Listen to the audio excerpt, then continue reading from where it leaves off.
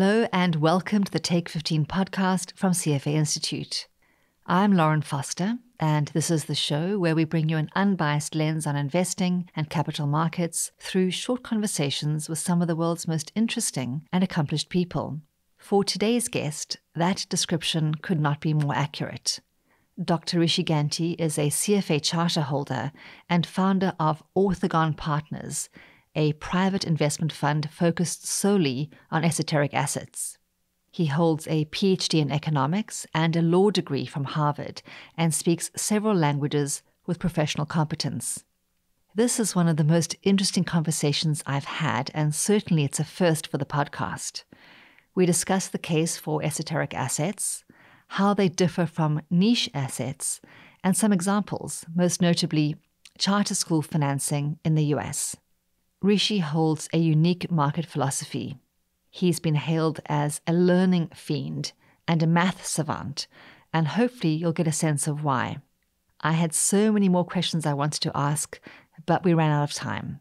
If you'd like to read more about his work and worldview, do a quick Google search for Why Modern Finance is Ruining the World from the December 2020 edition of Institutional Investor. And now, without further ado, my conversation with Dr. Rishi Ganti. Rishi Ganti, welcome to the podcast. Thank you. I'm glad to be here. Well, it's terrific to have you on the show today. Um, so tell me, are you starting out by, by, by uh, calling in from uh, Harlem, East Harlem? Is that where you're at? That's right. Uh, so I'm in Manhattan, New York, uh, the epicenter of a, a one time epicenter of the coronavirus. And yeah, I'm calling you from my apartment. So one of the things I always love to do uh, when I have someone who is calling in from New York is that I used to live in the city, so I'm always fascinated about what life is like uh, in the city nowadays. You know, and many listeners have either lived in the city themselves or have traveled there for business. Um, and as I was sort of setting up here this morning, I was just looking at some statistics, and it's pretty horrifying. Um, I read that uh, something like 20% of hotels have closed and something like more than a thousand restaurants have closed. So you've obviously chosen to stay in New York City. Um, just tell the listeners a bit about what the city is like these days and, and why you've chosen to stay. So let's remember that most of us stay at home. So information that comes in about New York or any city, really, we're also reading about. I don't necessarily see these restaurants being closed because I don't walk the sidewalks that much. I do get out a little bit to take my daughter to preschool. She's at one of the few schools that still meets in person, although this week they closed due to too many coronavirus cases. We're in New York partly because Sarah is uh, a hospital worker. She works at Memorial Sloan Kettering. And so that pretty much was it for us. And the apartment is very much our world, as well as some parks that are nearby or some open air parks. New York, we all know, is a place where living here, the part of the attraction, or why maybe you don't like it, is because you're in proximity to lots of people and you do things with lots of people. Some of those things are great the arts, restaurants, entertainment, or business industry that takes place in these hothouse kind of environments, and some of it's not that great, like commuting on the subway. But all of that, good and bad, is pretty much devastated. A lot of people have left. I know that because our social life has collapsed. And we never were ones to go out to restaurants that much, but we absolutely did partake of the arts and museums, and all of those are on very special schedules. If we do something, it might be to go to the zoo, which is open air here, even in January, as cold as that is. So some of it we know, some of it we read about, but New York is quite a different place. Well, I hope it comes back someday. I mean, I assume it's going to take a long while and it'll be quite a different city, but my hope is that it will once again return. So, you know, as I was doing some research ahead of our conversation, uh, there were two sort of images uh, that came to mind uh, about you and your work. Sort of one was um, you're a man on a mission, and the other is I think of you as sort of the, the Indiana Jones of investing. Um, you're willing to go off into unstructured assets to discover new assets. Uh, and you were broadly trained in things like time series analysis, stochastic processes, Bayesian inference, signal extraction, and you talk about having what you've called the come to Jesus moment. And you sort of walked away from all of that. What happened? So at some point, if you're, especially this happens in graduate school, right? I mean, in graduate school, there has to be some component of it where you're staring at sunsets or on the bank of a river and you're trying to understand what your place is in the world. I hope people reach those questions sooner than I did. I spent a long time studying markets, uh, how they work, the mathematics of markets, markets being one of the most wonderful human institutions ever invented. Not perfect, but boy, it got us pretty far. And I realized, you know, they function pretty well and they do a lot of things. And the reason, the reasons that people go into high finance, let's say, are not always the most noblest. It's just maybe to make money and make money any way they can. And the way money is made doesn't necessarily push society forward. If you've only got one life to live, you've won the lottery on a number of scales. You know, you're you're here and you're not a rock or a piece of space dust. You're not you're not even even to be alive isn't enough. You're not an amoeba, right? You're not a plant. You're a piece of intelligent life. You've won the lottery there's no one in quadrillion, quadrillion would not even describe the number. What are you going to do with that life? And I thought, well, the really interesting things are are bringing things into being, is sort of the creating, giving life to things. And it doesn't have to be an asset, right? Per se, as, as we understand it. It can be art, which is an asset, of course, but art, music, drugs, cures for disease, a new technology to fight an environmental issue or even just a new way of working together, a new kind of governance, that how do I get into that? And I realized I really was on a very different path. I was really going to become a cog in a machine that's already pretty well oiled and if anything maybe needs to be reined back in some ways to serve what we want to do as people as as a, as a society or as a world and so I said, well, what does that involve? And that involved more of the Indiana Jones aspect of it. It involved going out there and not making all these crazy calculations. There's a funny scene in Ghostbusters, if you like that movie. That movie's very old, but you know, 30 years ago, where Harold Ramis's character, when faced by a ghost, Egon Krenz, lifts up a computer and starts doing some calculations, and Bill Murray's character just slaps the calculator down and says, "Stop that." because it, it doesn't matter. They're they're faced with the with a ghost, and so in some something that people have never seen before didn't really know that was there. Even they didn't. So in a in a way, that kind of exploration I thought was more is actually more meaningful than just shaving off a fraction of a penny on a stock order, right? Or something of that nature. And that I was still young enough to really, and we're always young enough to make a pivot in life, but I was young enough to really understand that and make a little bit of a leap of walking away from all those things I built. But we know from economics, those are just sunk costs, right? They shouldn't guide us in an optimization, including in a meaningful life. Yeah. So I'd love to talk a bit more about Orthogon, but before we go there, um, I, have heard often when you set up talking about orthogon, one of your approaches is to really sort of go over, go after some of the sacred cows that uh, investors have about markets and alpha and microeconomics. So just give us a little bit of a flavor of um, some of the conceptions we have that to you are really the wrong conceptions and, and you got to those sort of understandings and that's what led you towards the orthogon path. Sure.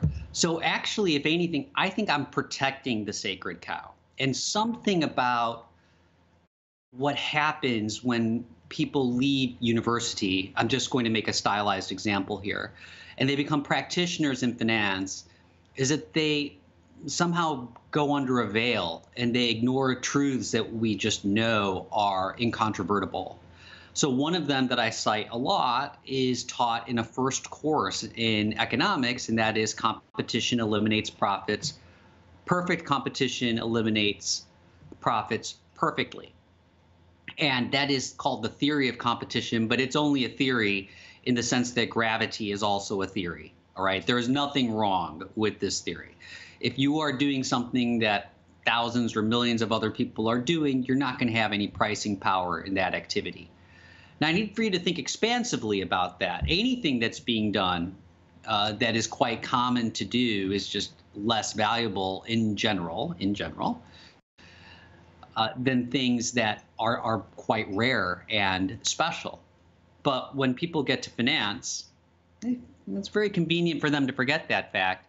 And when I'm talking about that, I'm talking about an entire industry. I'm, I'm very broad in my sweep.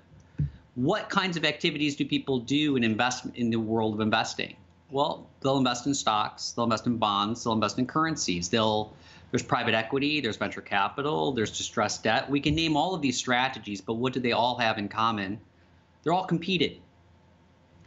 Either in a liquid space, so-called liquid space, like where people are trading anything on a screen. Well, obviously, the price on the screen is the reflection of thousands or millions of participants, some of them not even human. They may be robots or artificial intelligence actors. If you want to buy a position, you got to buy at the highest price. If you want to short a position, you have to short at the lowest price.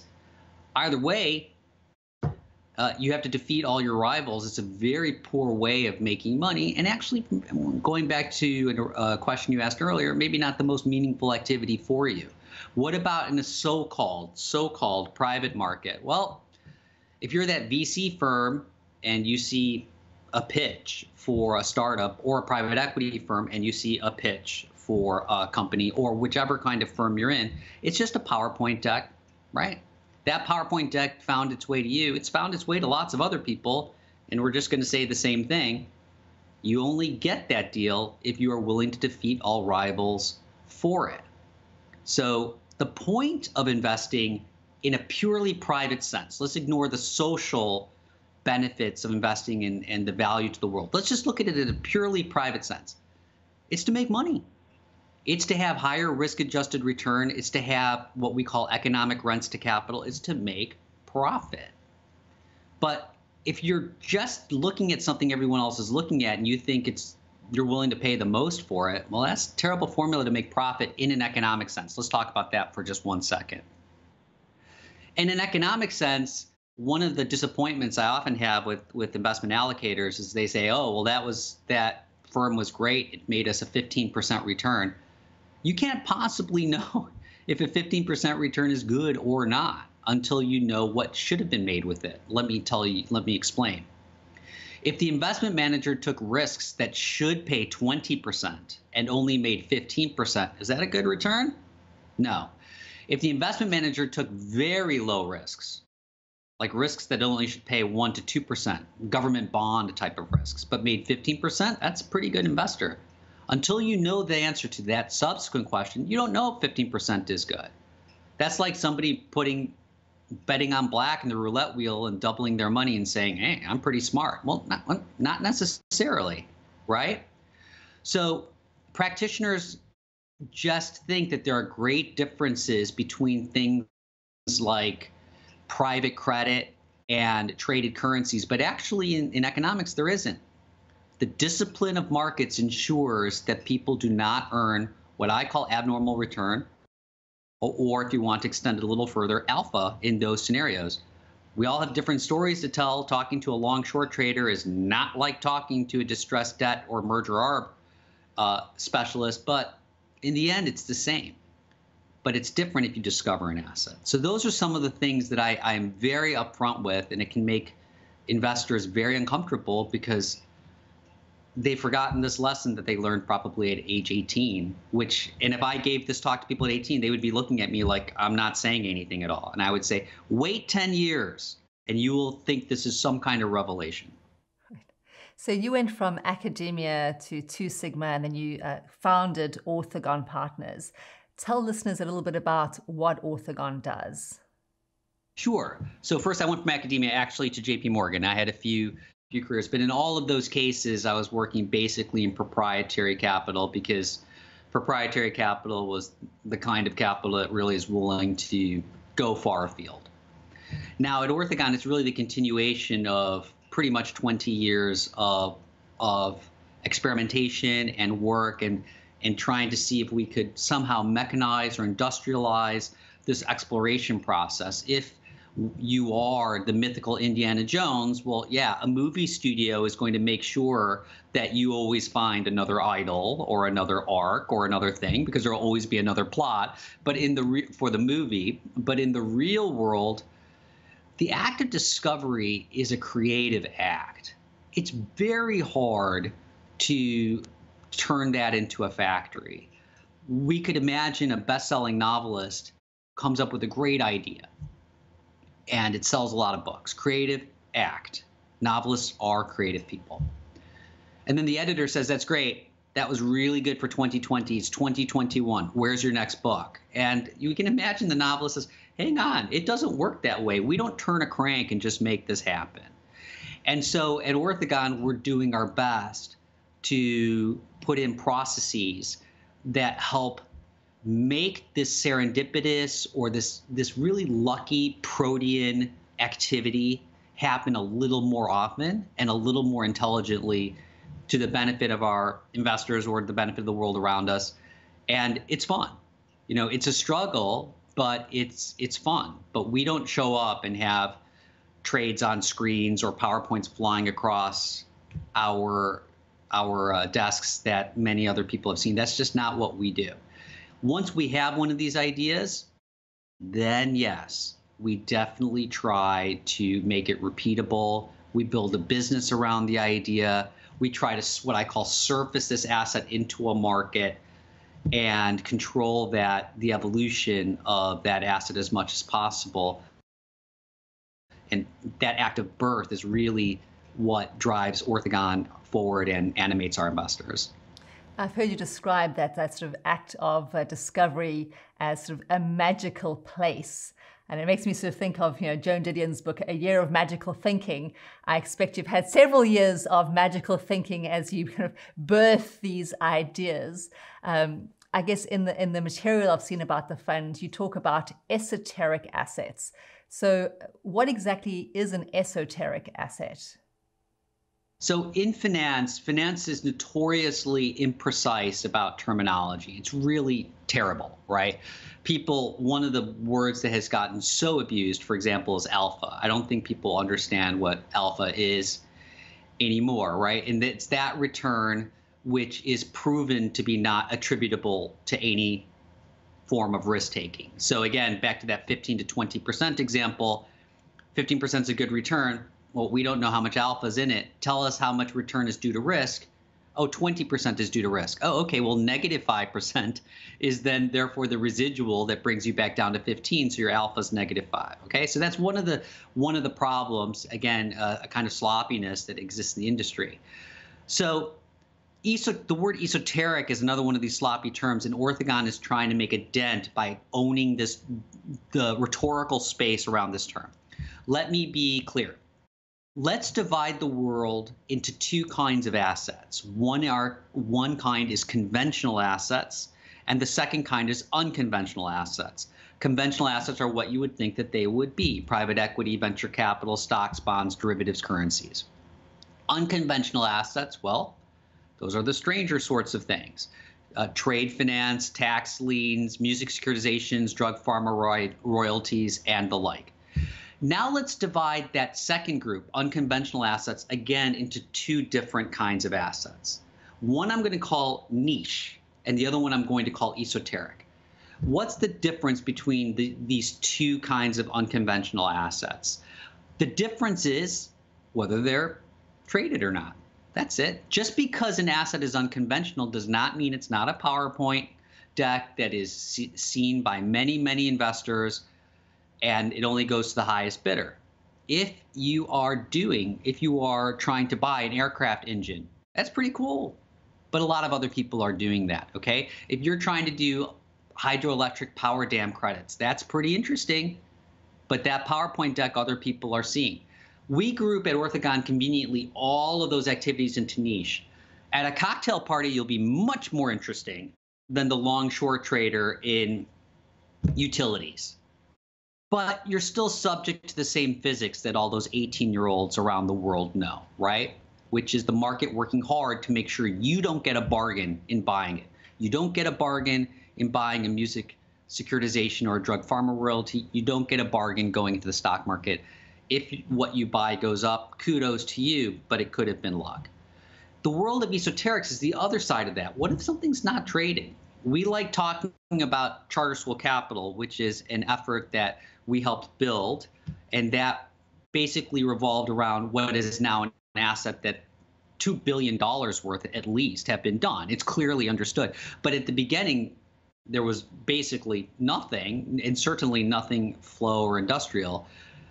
Charter schools couldn't finance themselves, but that didn't make sense because they're municipal credits. Anything that has municipal backing should be financeable, right? It's pretty safe, but it just didn't exist. All assets have to exist at some point. Every stock in the stock market had to IPO at some point, and before it IPO'd, it had to be somebody's idea to start a company.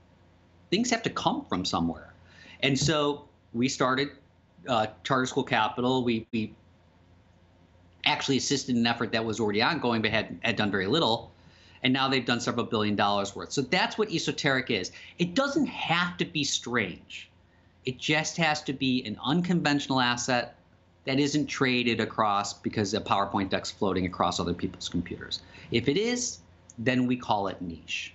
And that's how I would define esoteric. And I think that's a very useful definition rather than just a, the kind of vague word that's tossed around because it kind of sounds cool. Yeah, that is. So, charter schools are a great example, especially for our US audience. For a more global audience, give us a couple of other examples um, of assets you've quote unquote discovered. Uh, I think I read something about the Vatican. There are lots of very interesting uh, opportunities that you've exposed. Can you give us a couple more? We can try. I mean, I have to be a, a, a, little bit. I have to telescope back. Charter Capital is a very public example, and so so we do that. But we have definitely funded governments, religious orders. We've done low-income housing in different countries, uh, schools, hospitals, and in all in all of these cases, we had something that, well, if you look at it on paper, there's no reason why there isn't something one can invest in. It's just that it isn't all done for you. So it isn't all like wrapped up in a bow and you're handed a pen and you know you just sign here and you own it, which you can one can do, for example, to buy a house or invest in the B round of some company, or that you can press a button on a screen and then some trade order flows through in some magical distribution mechanism and then you own whatever that is a stock, a currency. Uh, we have one of the areas that we find very, very fruitful that we think provides a lot of social value as well as uh, private value, that is, return to our investors in excess of the risk that they're taking. Okay, I want to make that clear. Is in fact interaction with governments. There's something about, there's some inefficiency, some gap in the way the market operates commonly, not always, where capital that could fund an activity that is government backed just doesn't seem to get there. So one can have, uh, I've talked about religious orders, I've talked about social service agencies, they often can act the same way, but they can fund healthcare, they can fund programs for refugees, they can fund poverty protection programs where, for example, electricity is provided into your house, but if you can't pay for it, well, that's okay. They'll keep the electricity flowing. Now, somebody does have to pay for all of these things. That's the sad reality of the world. Somebody does have to take care of the homeless, of battered women, of refugees. Somebody has to pay for the for the people who are devoting their very good lives to taking care of of these problems. And that typically might be a government. The government says, well, we're sponsored here, but the governments are cash strapped. They're cash strapped all around the world. They're cash strapped in North America, South America, uh, most of Europe, right? Not every government runs a surplus like Norway does. And so governments finance themselves. And the way they finance themselves partly is by delaying payments, partly by shrinking the payments that they do give, partly by subjecting the payments that they might give to these social actors to risk where the payments might disappear. or be audited or whatever a government has to do because at some level a government can't spend more than it has. That lesson is very clear in Europe, where the currency, uh, the euro, is not controlled by a government that can just print it willy nilly as it can be in other places. There are merits on both sides of that debate. And so we can step in and say, we don't know why nobody's funding you. It's causing you a lot of distress. We can provide some gap funding for you until those payments come in that has been enormously helpful in a number of in a number of places. The economic distress that is experienced by these social actors who cannot pay teachers, who cannot pay social workers, cannot pay hospital workers like doctors, is much greater than the actual amount of the payment. So timing does does matter, and so we do we do some of that too just going back to sort of the, the, magical place of the unearthing or the discovery of the assets, that seems like it's a, a very intensive process. Um, how do you go about uh, surfacing these kinds of opportunities? So, one of the greatest disadvantages of Orthogon's approach is that it's very labor intensive, right? The great conveniences of of buying something that is competed, that is, it's flow, it's brokered, it's on a screen, it's on a PowerPoint deck is that, well, it's wrapped up in a bow for you, right? You just have to press a button on your screen or whip out that pen and sign, and you've basically got it. There is a lot of work that's done, but that work is in what I call investment analysis, right? Something that CF, CFA charter holders will clearly understand. Is it a good idea to buy it? Because all I have to do to buy it is, is take a pen and sign but is it a good idea? There's a lot of effort that goes into that. The results of that effort are unfortunately mixed. Most evidence, reliable studies about investment managers show that they don't create value, that they don't earn positive abnormal return or positive positive alpha. In fact, quite the opposite. They don't justify their fees. So Orthogon's labor intensive, right? Just like writing that novel, making that song, inventing that cure, or developing a new technology to solve an environmental problem. Okay, so how do we do that? Unfortunately, now I run into a second problem. Not only is it labor intensive when it works, there's no guaranteed way to make it work.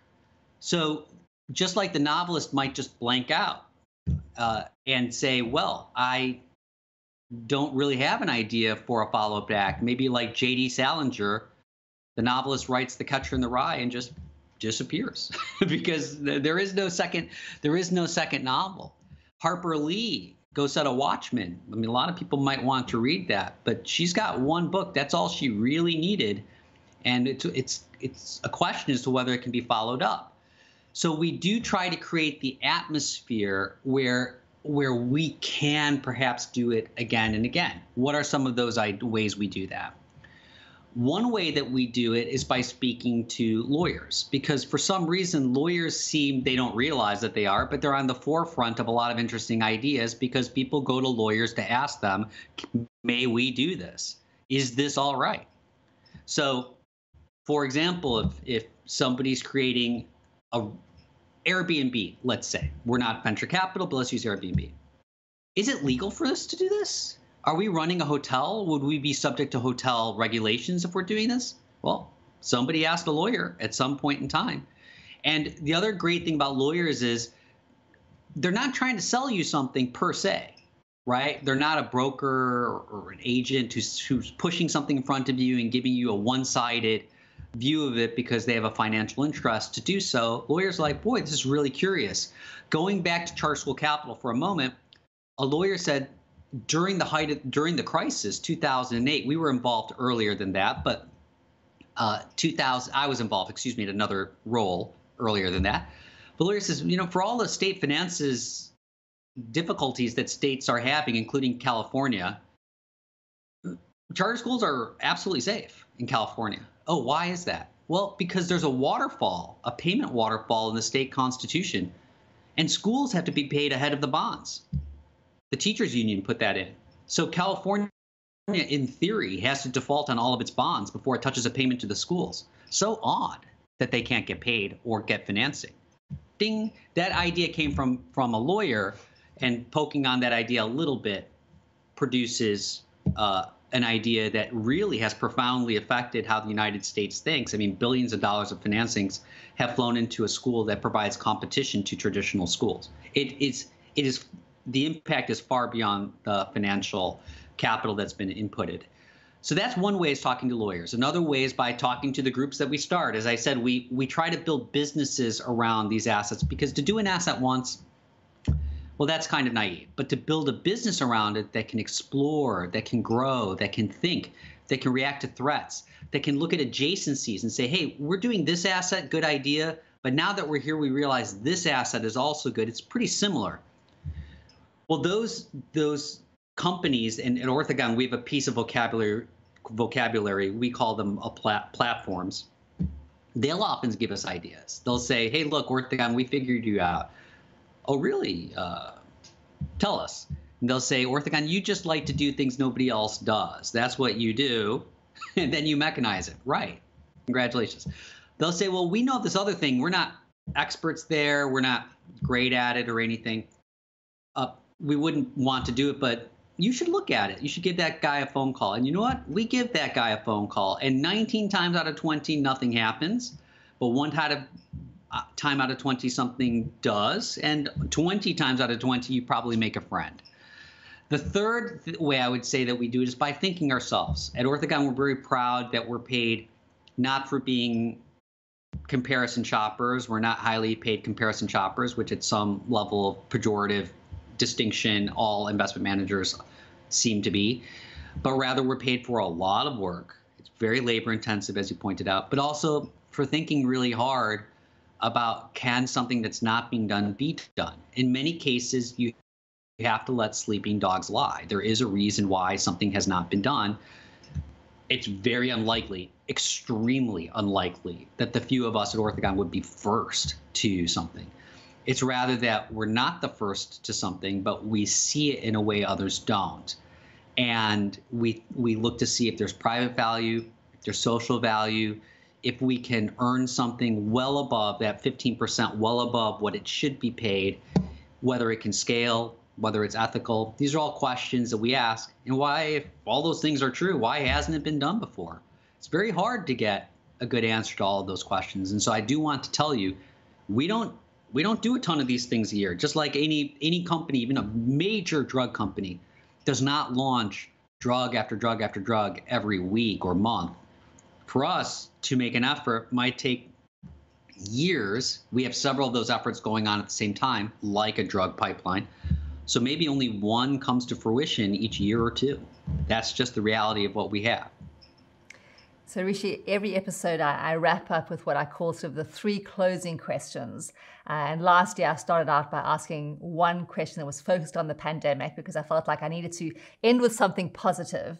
And then towards the end of last year, I, I, found another funny question, so I added that on. And then this year, for the first time, I've added a third question because, again, they're kind of quirky, but they tell me a little bit about who you are and how you think. So the first one is just the, the most standard, and, and it's what we call the ray of sunshine question. And it came from you know, Trevor Noah uh, right in the beginning of the pandemic, would always have his ray of sunshine clip at the end of his show. And so, my question really to, to all the guests and to you is what is one sort of long term positive outcome that you hope will stick around, that will last as a result of the, the pandemic?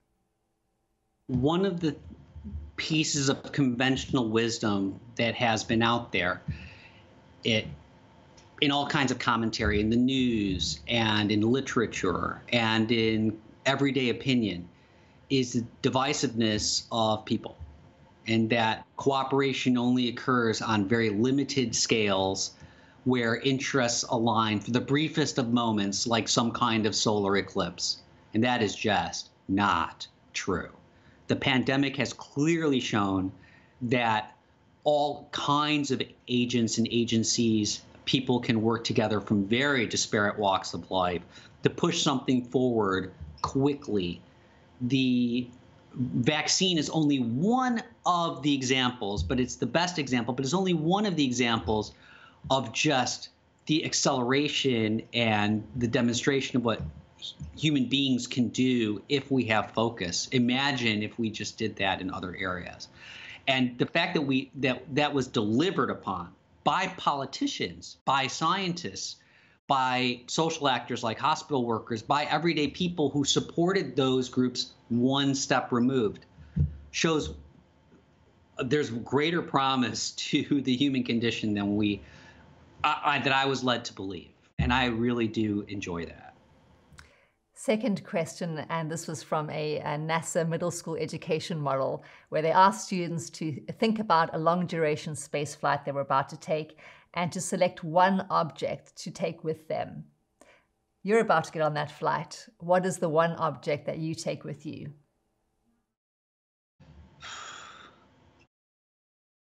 I have two slightly different answers. I don't want to cheat the question. I mean, one one thing I would want, and this is influenced by people who talk about going to Mars and, and really they're not coming back, is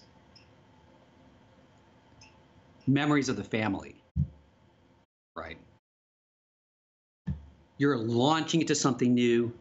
It's generating your spirit. It's amazing, but you're leaving something behind.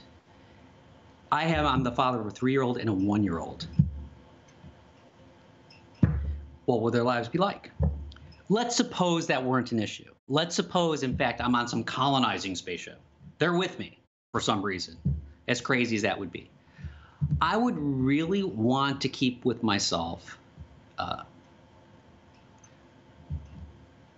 basically either Meditations itself by Marcus Aurelius or uh, a work, one of many, by Ryan Holiday, who just helps us understand it because recentering on what that would be on that space flight, and I'm really focused on that idea, right, and not just sheer isolation. Although I think I would do the same thing on a desert island, is key. I get a reminder in my inbox every day about a Stoic principle, and it can get me through the day as to why I'm here. But that's what I would do. All right. And then the third question, and this is the one I've only asked one other guest because I only came up with this idea a couple of weeks ago uh, after listening to a um, uh, This American Life from 20 years ago that was all about superpowers.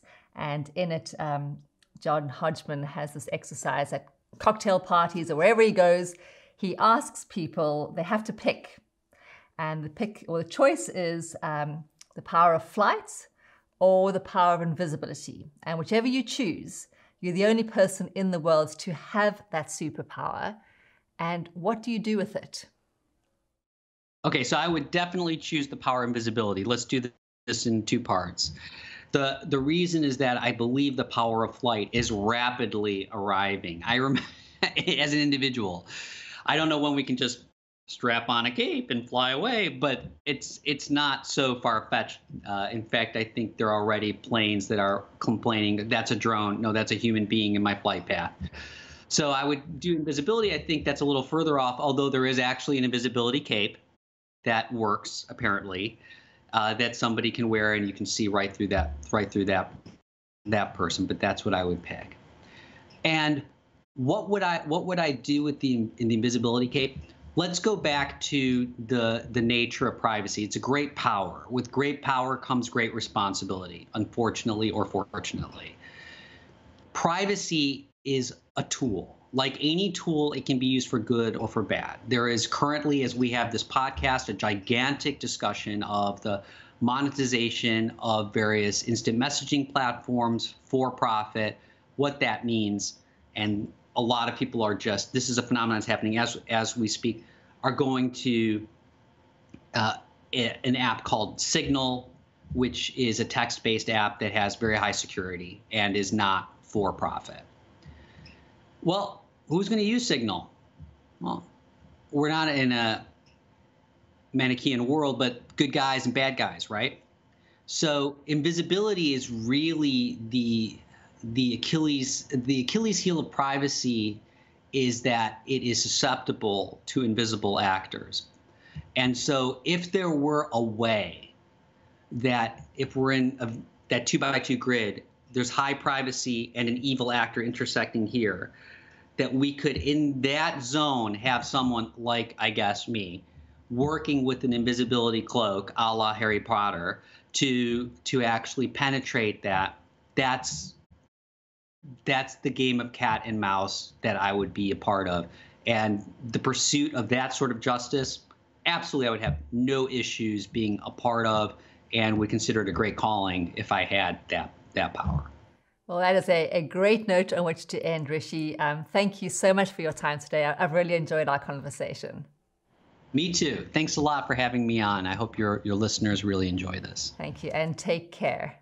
If you enjoyed today's episode, please consider rating and reviewing us on iTunes or wherever you're listening. We'd love to hear your thoughts, and it helps others find the show.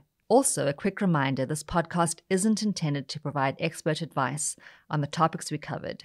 If you need tax, accounting, or legal advice, please consult a professional. I am Lauren Foster. Thanks so much for listening.